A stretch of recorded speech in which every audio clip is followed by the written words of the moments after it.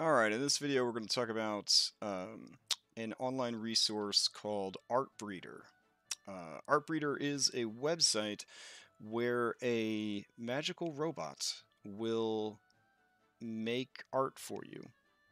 Um, it's a little weird, and uh, it's sort of like an AI that goes and grabs random images and smooshes them together. So, I mean, you could recognize there's like Hugh Jackman right there, and uh, you know, lot, lots of recognizable uh, people are in here, but it can create um, realistic pictures, artistic pictures, anime pictures. Uh, they added furries.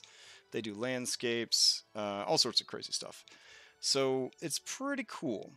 Um, so at the site, uh, I'm in the browse area, and basically I want to create some NPCs. So I want to create some NPCs for uh, just backgrounds, commoners, NPCs that they might encounter, future shopkeepers, that kind of stuff. Uh, so I'm going to just kind of go through and select somebody to be the base. I'm going through just selecting somebody here to be the base. So I think this lady right here. We will pick her uh, to be the base. All right. And now if I like if I like her, I could go ahead and uh, favorite it and you could create an account uh, with this or log in with your Google account, and it will allow you to have like a favorites folder, basically, which is pretty cool. Uh, and then these are all, I guess, children, right? That this image has created for other users. So I could just go and, you know, grab these if I wanted to. I want it to be a bit more artsy, right? This is still very high res kind of photograph.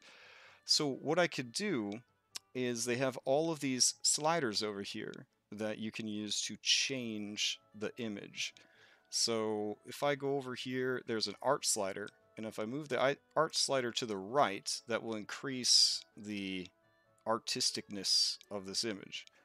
So the further I take it over, the more essentially Photoshop filters are being applied that make it less of a photograph and more of a painting. You can see that it's softened up the skin textures, softened up the hair, tried to make it look more like a person had painted it. So that's pretty cool. Um, and then uh, it's cool that she's kind of looking off to the side, but I could turn her head so that it is facing towards the camera. So with that, I go to yaw up here, and I just move that to the left to turn her head to the left. And now, just like that, this 2D image is now looking straight at the camera. I could even make her look down or up, excuse me. So I could tilt her head up. I could tilt her head down. It's pretty cool. Um, yeah, so if I'm happy with those settings, I could hit save or I could keep going. So uh, here I could make her older if I wanted to. Uh, which will apply wrinkles and stuff, see, and change the hair color. I could try to make her look younger right? Which, uh, you know, it makes exaggerated eyes and mouth and nose, a smaller head. Uh, if I want to reset, I just hit that little circle and it resets.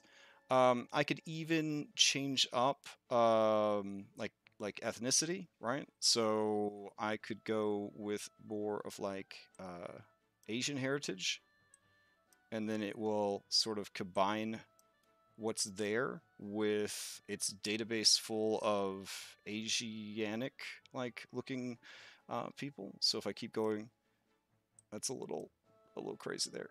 All right. Uh, or I could keep it as is. Um, and you could do other things as well, like you could control how wide the mouth is open or closed. Uh, you can change the hair you could change the hair color. Uh, so much cool stuff that you could do here. Um, so yeah, it's a really, really cool tool.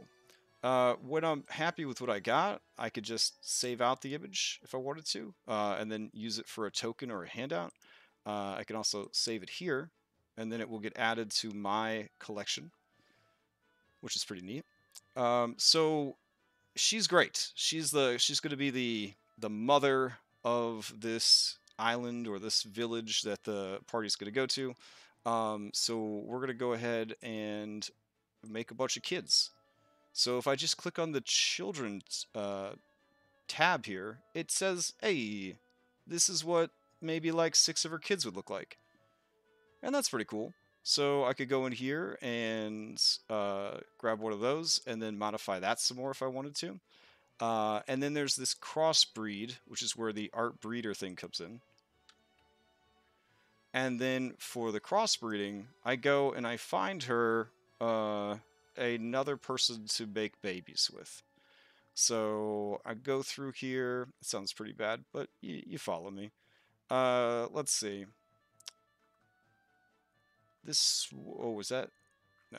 This swarmy guy right here. There we go. So the two of them combine, and they make this new person. Uh, so I can have more or less uh, of the face and style of these different people, which is pretty cool.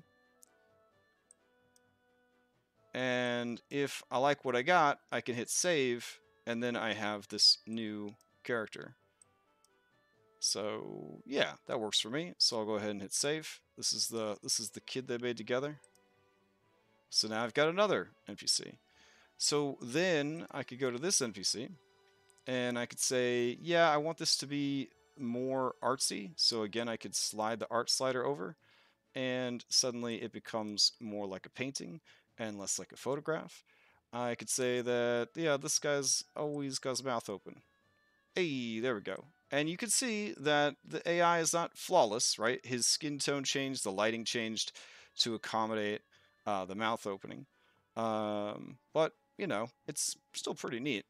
And maybe I think his head's too wide, so I could make his head not as wide. Uh, very, very cool. So lots of neat stuff that you could do with this. I could save this out. And then I could see what kind of kids this person would have. Alright, so yeah, this person's looking pretty cool. So I'm going to click on this person. And now I could also raise the art slider up to make it more like a painting. There we go. And give them a more narrow head. And I think, there we go. This is more stereotypical gender roles, this slider. So if I wanted that person to have like uh, like a daughter, I could kind of drag it over and it adds earrings and longer hair, which is a more traditional uh, lady feature. I could go with an even more narrow head. I could make them kind of turn to the side there and look down a little bit. There we go. And you do get occasional weird artifacts. Like there's this little bump on the neck, but maybe that's a mole. Mm, who knows? Maybe when they were painting it, they uh, they dropped their brush there. It's okay. Uh, maybe they have their eyes closed a little bit because they're scrutinizing you. There we go. Uh, do I want the eyes to be more green? Uh, I could raise the green levels a little bit. So there's a lot of stuff you could do here. It's really, really neat. Um, you could bust out a whole bunch of um, essentially original uh, NPC or character arts in a very short amount of time, uh, just sort of going through this process and saving them out as you go. Then you turn them into tokens or handouts or whatever, and you have unique art to represent your different characters. So I like it. It's a very cool resource.